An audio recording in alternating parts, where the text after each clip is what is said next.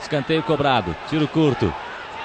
Geraldo faz o levantamento. A bola passou pro gol. Gol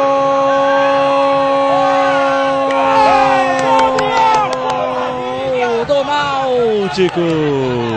Aos seis minutos, a Costa faz pro Náutico para a festa do torcedor.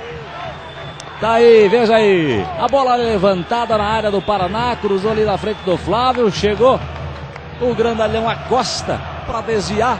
1,90m, tocou para o fundo do gol do Flávio. 1 um para o Náutico, 0 para o Paraná. Muita facilidade, né? Já, já tava